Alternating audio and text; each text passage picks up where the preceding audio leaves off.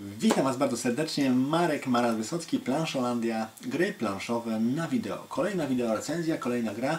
W tym odcinku chciałbym Was zainteresować grą dwuosobową z serii Kosmos.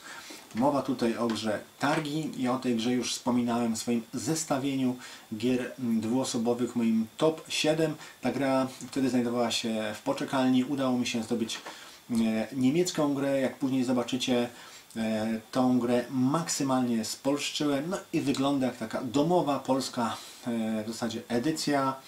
Pan Andreas Stiger wydał tylko i wyłącznie tą grę jedyną, ale debiut naprawdę mm, okazał się bardzo dobry, bo już w, w dacie wydania tej gry w 2012 ta gra została nominowana do takiej prestiżowej nagrody, oczywiście Spiel des Jahr e, Kennerspiel, czyli do gry zaawansowanej.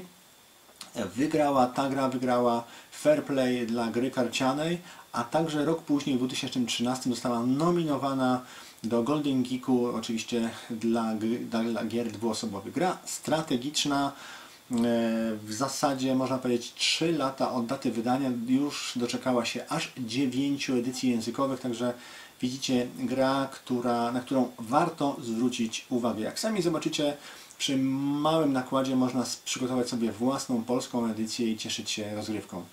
Gra oczywiście mm, dwuosobowa, e, rozgrywka, no myślę, że 45-60 minut, e, wiek graczy 12 lat, no i tu gracze będą e, wcielali się oczywiście zgodnie z nazwą takich przedstawicieli em, plemień, takiego berberyjskiego plemienia Tuaregów.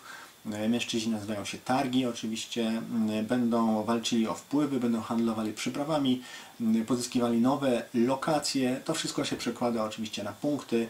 Gracz, który na koniec zdobędzie najwięcej punktów, wygrywa. No tradycyjnie oczywiście pokażę Wam e, tą moją edycję, pokażę Wam zasady gry i w drugim odcinku oczywiście e, powiem, czy warto po tą grę e, sięgnąć, także zapraszam na materiał.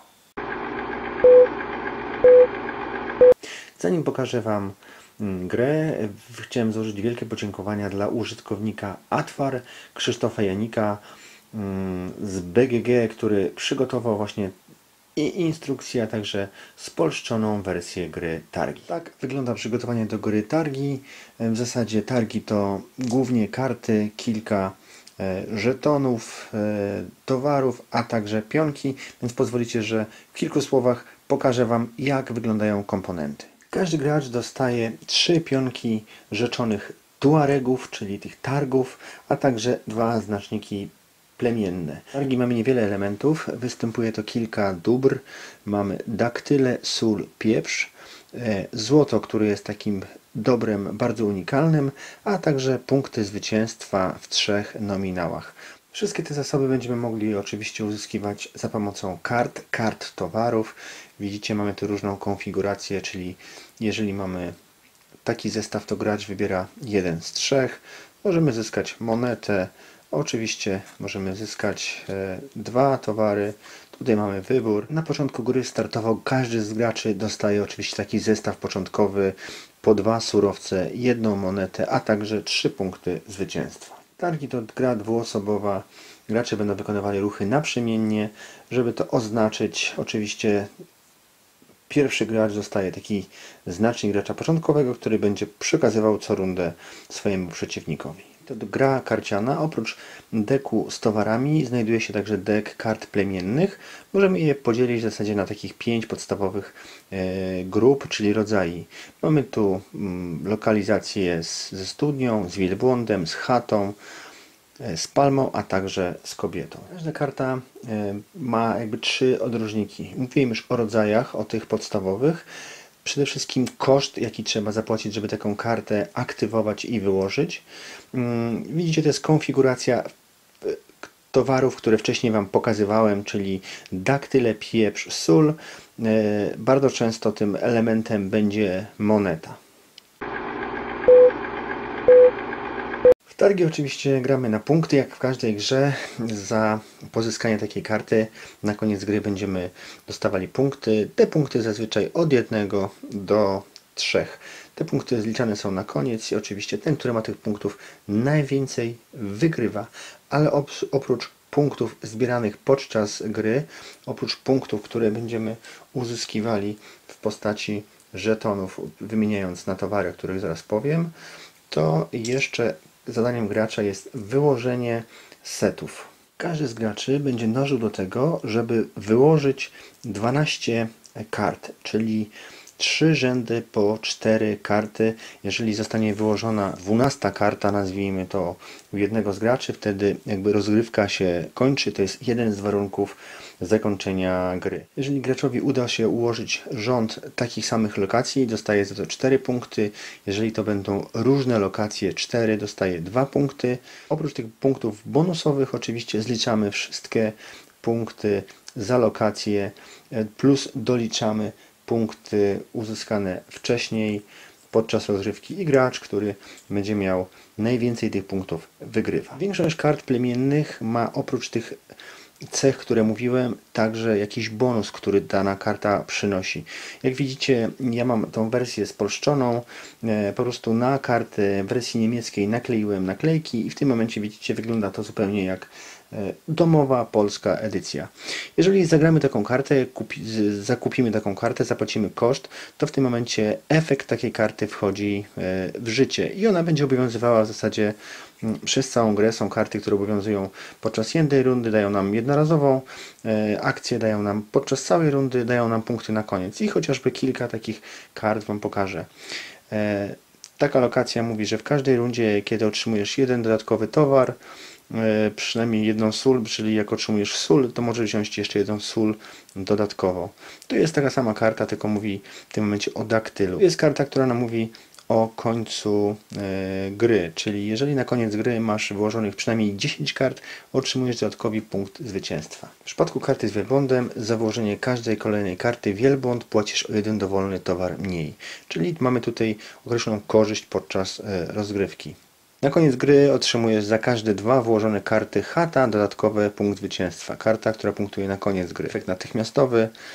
Mm, po włożeniu tej karty otrzymujesz trzy dowolne towary lub jedną monetę lub jeden punkt zwycięstwa. Na koniec gry otrzymujesz za każde dwie włożone karty wielbłąd dodatkowy jeden punkt zwycięstwa. Czyli jak widzicie, tylko tak szybko Wam przylecę tych kart naprawdę jest cała masa, ciężko pokazać jest wszystkie, ale te karty dają korzyści podczas rozgrywki jednorazowe, na koniec, na przykład chociażby, będę mówił teraz o napadzie, podczas napadu nie musisz nic oddawać, czyli karta, która chroni nas przed oddaniem punktów albo surowców.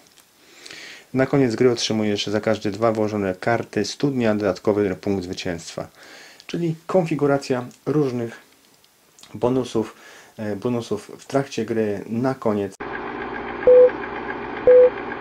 Nasza rozgrywka będzie toczyła się wokół takich kart obramowania. Te karty oczywiście przy każdej rozgrywce są tak samo ustawione, więc po, tej, mm, po tych kartach one są numerowane od 1 do 16. Będzie poruszał się taki pion złodzieja. Zaczynamy oczywiście na polu z numerem 1, będziemy go przesuwali, będzie nam wyznaczał kilka elementów gry. Rogowe karty będą stanowiły nam napady, czyli gracze będą oczywiście oddawali surowce bądź też punkty i w tym wypadku jeżeli dojdziemy do, mm, czyli zatoczymy pełne koło, a nie zostały wybudowane jeszcze te 12 kart, które wcześniej pokazywałem, gra kończy się. Czyli mamy dwa warunki zakończenia gry jeżeli zatoczymy pełne koło, bądź też któryś z graczy wybuduje swoją 12 lokację, 12 budynek. Obrzeże stanowi oczywiście tor do wyznaczania e, nam czasu akcji, ale oczywiście to są typowe pola, na które możemy wykonywać akcje. Oczywiście obstawiając naszego Tuarega, w tym momencie aktywujemy nim automatycznie określoną akcję. Oczywiście po postawieniu w dowolnej kolejności mamy ich trzech, będziemy rozstawiali, e, będziemy mogli wywoływać akcje związane z tymi kartami. Oczywiście na takim polu może stać tylko i wyłącznie jeden pion. Te karty są dwustronne, przedstawione grafem, jeżeli już wiemy o co chodzi, ale także mamy pole tekstowe. E, gracz może mieć jedną kartę na ręku, Jeżeli go nie stać, żeby zapłacić, w tym wypadku tylko i wyłącznie może ją wyłożyć za pomocą tej karty. Obstawiając pole starszyzny, może taką kartę odrzucić bądź wyłożyć. Jeżeli figurka złodzieja trafia na rogową kartę, wtedy następuje napad. Oczywiście on jest opisany szczegółowo na karcie po polsku. Gracze generalnie, tak jak widać na grafie, będzie łatwiej to pokazać, na rogowych kartach będą musieli oddać określone albo surowiec wybrany przez nich, bądź też punkt. Przy kolejnym napadzie już wtedy tych surowców będzie więcej, dwa albo punkt. Trzeci napad mamy trzy surowce bądź też dwa punkty i ostatni musimy oddać monetę, bo trzy punkty zwycięstwa. Oczywiście jak rozpatrzymy dane pole, to w tym momencie e, złodziej przechodzi na kolejne i w tym momencie roz, wykonujemy normalne akcje związane z rozstawieniem pionków. Kolejne pole, które występuje to jest handlarz. Oczywiście możemy wymienić trzy takie same towary na złoto, bądź też dwa towary na inny towar, który nam jest potrzebny. Pole, które daje nam możliwość pozyskiwania tak naprawdę punktów podczas gry. Wymieniamy towary, jeżeli mamy nadwyżki tych towarów, e, możemy iść w punkty. Na obrzeżach tych kart gracze będą mogli zdobywać towary, Oczywiście biorą wtedy żetony, można zrobić daktyle, sól, pieprz, daktyle, pieprz i jeszcze raz sól. Pamiętajmy, na koniec rundy maksymalna liczba towarów to jest 10 i można mieć maksymalnie do 3 monet złota. Mamy jeszcze dwa pola, które w zasadzie przy karawanie będziemy mieli deck kart towarów i przy powiększeniu plemiona deck kart plemion. E, pierwsza z tych kart po prostu, jeżeli obstawimy tu naszego Tuarega. E, wygląda to w ten sposób, że ciągniemy kartę i po prostu dobieramy towary, które znajdują się na tej e, karcie. To jest pierwsze pole. Jeżeli chodzi o powiększenie plemiona, robimy oczywiście tak samo. E, jeżeli mamy w naszych zasobach surowce, które pozwalają nam oczywiście mm, tą kartę od razu wykupić, czyli położyć do naszego tablo, to jak najbardziej możemy to zrobić. Jeżeli nie, możemy tą kartę odrzucić, bądź też oczywiście zatrzymać, ale pamiętajmy, tylko jedną kartę możemy mieć na ręku. Przygotowanie do gry wygląda w ten sposób, że bierzemy 5 kart towarów, 4 e, karty plemienne, oczywiście te karty tasujemy i tymi kartami wypełniamy obszar, e, który tutaj się znajduje. Tak wygląda przygotowany obszar gry, czyli wypełniamy po prostu wszystkie karty. Wypełniamy tu 9 kart, które e, tworzą nam taką pełną e, planszę. I teraz możemy rozpocząć rozgrywkę właściwą. Gracz, który oczywiście został wybranym pierwszym graczem, bierze swoich tuaregów i po kolei obstawia mm, pierwszego tuarega na obrzeżach tej planszy. Oczywiście pamiętajmy, jeżeli obstawia w konsekwencji tę akcję, będzie mógł wykonać, czyli musi liczyć się z tym, że jeżeli obstawi, to będzie chciał ją wykonać. Oczywiście nie musi, nie ma takiego obowiązku. Jest kilka zasad oczywiście obstawienia tych tuaregów. Nie można obstawiać tuaregów na mm, tych kartach rogowych. Może oczywiście e, postawić e, dowolny na dowolnej karcie. Kolejny gracz, czyli przeciwnik, nie może postawić e, tego swojego Tuarega na takim samym polu, ani naprzeciwko przeciwnika. Może postawić e, ten pionek na innej karcie. Oczywiście e, teraz kolej na białego. Biały obstawia na innym polu. Oczywiście niebieski może w tym wypadku postawić naprzeciwko złodzieja, ale nie może postawić na polu ze złodziejem. E, kolejny gracz obstawia pole i niebieski obstawia tym razem e, swoje pole. Widzicie, w tym wypadku te pola zostały obstawione. No, co jest w tym dziwnego? W zasadzie nic, bo w tym wypadku gracze obstawili jakieś pole, które będą wykonywali, ale teraz jakby jest kwintesencja całej rozgrywki. Czyli na przecięciach tych pól tych linii gracze stawiają swoje znaczniki e, plemienne, czyli tu jest przecięcie i tu jest przecięcie, na przecięciach linii obstawiają znaczniki. I teraz gracz w dowolnej kolejności, gracz w tym pierwszym wykonuje akcję. Może najpierw wziąć surowce, może coś aktywować, tylko od niego zależy w jakiej kolejności będzie wykonywał e, akcję.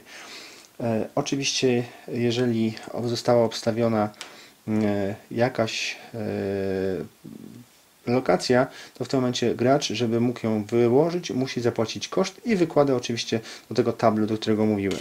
W tym momencie powiem Wam, jak wygląda akcja Fata Morgany. Karty Fata Morgany, bardzo ciekawe karty. Jeżeli gracz obstawił to pole, to w tym wypadku może, zanim zacznie wykonywać swoje akcje, może przestawić oczywiście ten znacznik plemienny na inne, niezajęte wolne pole, czy na inną e, kartę. Czyli to jest też takie dodatkowe e, planowanie. I w tym momencie gracze oczywiście wykonują po kolei e, w dowolnej kolejności swoje akcje.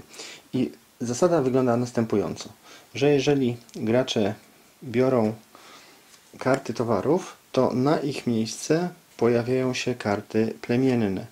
Jeżeli gracze biorą karty plemienne, z kolei na ich miejsce pojawiają się karty towarów. I tak to się będzie dynamicznie zmieniało, jeżeli gracze wszystkie akcje e, rozdysponują. Oczywiście przesuwamy naszego, zdejmują wszystkie pionki, przesuwamy naszego złodzieja na kolejne pole, odkrywamy wszystkie karty i w tym momencie toczy się kolejna runda. Znacznik gracza przechodzi do przeciwnika i tak rozgrywamy mm, kilkanaście rund, pamiętając o tym, że są dwa warunki zakończenia gry. Jeżeli nasz e, złodziej dojdzie do, do końca, czyli zrobi pełne koło, bądź też któryś z graczy wybuduje dwunaste ostatnie, e, ostatnią kartę, czyli ostatnie lo, lokalizacje. Wtedy gra kończy się, podsumujemy punkty uzyskiwane oczywiście w trakcie, e, uzyskujemy, podliczamy punkty z naszej lokalizacji i ten, który zdobył najwięcej punktów, wygrywa.